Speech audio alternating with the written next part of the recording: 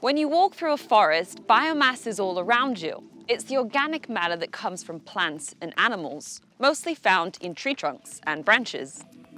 Forests hold between 70 and 90% of Earth's above ground biomass, with the majority located in the tropics. Forests impact the climate in two ways. When trees burn or are cut down, stored carbon is released back into the atmosphere as carbon dioxide. At the same time, forests soak up carbon dioxide from the atmosphere, acting as an important sink for the carbon we release. That makes the biosphere a key player in regulating our climate.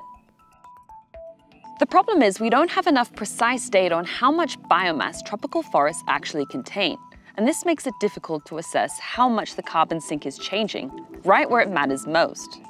As a result, this makes it extremely difficult to estimate the flow of carbon to and from the atmosphere. This is where the biomass mission comes in.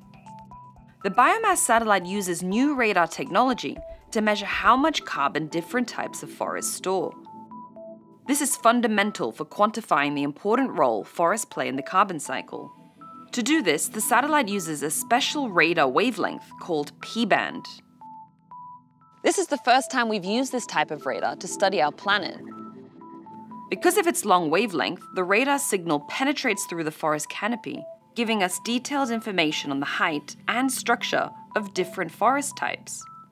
Ultimately, biomass will measure the amount of carbon forests store and how that changes over time. But that's not all. The mission will also bring us other important insights about our planet.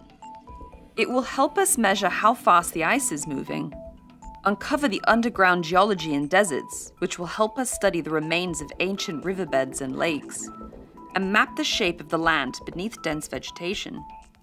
With this data, we'll get a better understanding of forest resources and how they're changing. This will help us protect our forests, fight climate change, and prepare for the future.